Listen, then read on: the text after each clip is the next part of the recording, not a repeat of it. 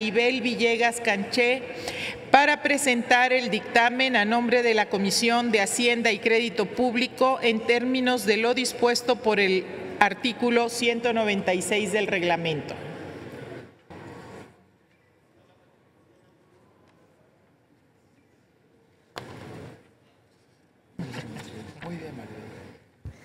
Gracias, Presidenta. Buenas tardes a todos los compañeros senadores y senadoras. México está viviendo la renovación moral para consolidar la cuarta transformación.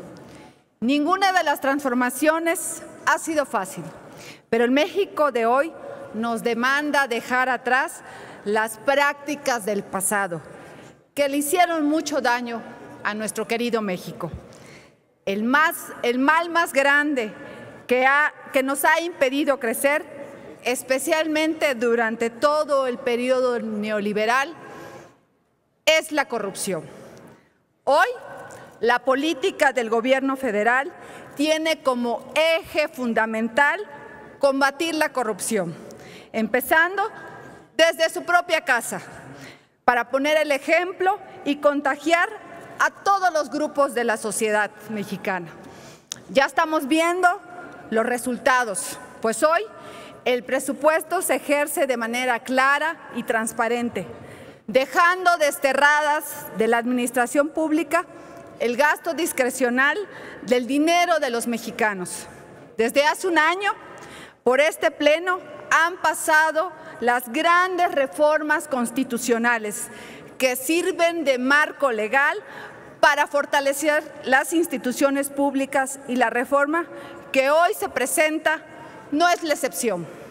En Morena creemos en la sana competencia, en el libre mercado, en el impulso a los emprendedores, en los innovadores que todos los días se arriesgan su capital para generar riquezas, para que esta sea la palanca de desarrollo en el país.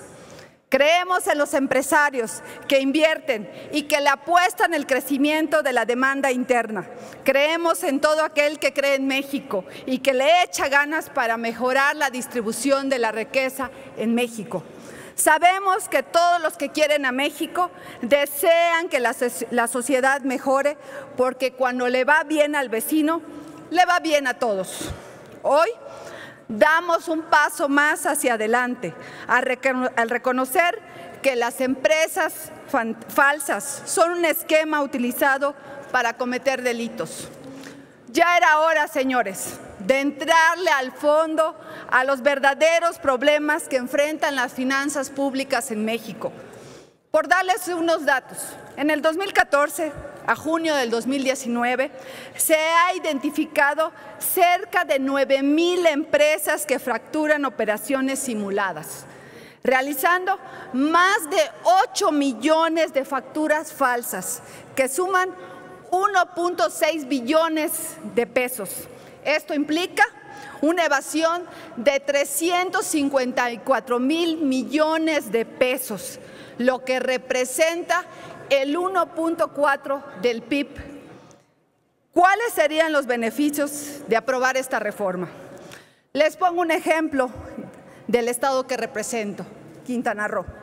Si hiciéramos una división simple de los 354 mil millones de pesos en los 32 estados, solo para fines para contextualizar, en este ejemplo, a cada estado se le podría otorgar un beneficio adicional de 11 mil millones de pesos cada año. En Quintana Roo, con ese dinero se podría resolver el problema de agua, donde hoy hay una empresa concesionaria que abusa de los quintanarruenses con sus cobros. Además, atenderíamos el problema de educación que hoy, por cierto, el periódico Reforma en su portada informó que Quintana Roo es uno de los estados con mayor rezago educativo, pues el 69% de los alumnos del estado tiene un mal rendimiento en matemáticas. En temas como salud, quiero comentarles que en Chetumal hay un elefante blanco. Hay mujeres que están demandando que sea atendido, que sea equipado este hospital oncológico en la ciudad de Chetumal, que no tengan que ir a la ciudad de Campeche o Yucatán para ser atendidas en este, en este eh, terrible enfermedad que aqueja a muchas mexicanas y por supuesto quintanarruenses. Otro tema pendiente que con la ayuda de todos estaremos atendiendo próximamente en esta Cámara es la evasión de los resultados de las outsourcing, mejor conocidos como pagadoras en Quintana Roo. Es un tema muy importante.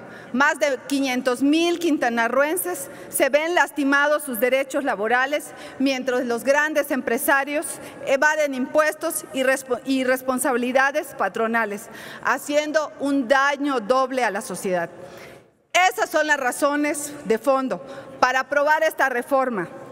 Tenemos grandes retos que debemos de atender. Este esfuerzo requiere de todos y todas. Vamos por una nueva vida pública en nuestro país, en la que los ciudadanos, los empresarios y de todos los agentes productivos asumamos nuestra obligación tributaria con el firme objetivo de que mañana México sea un mejor país. Es cuanto, Presidenta. Gracias. Gracias, senadora Villegas Canché.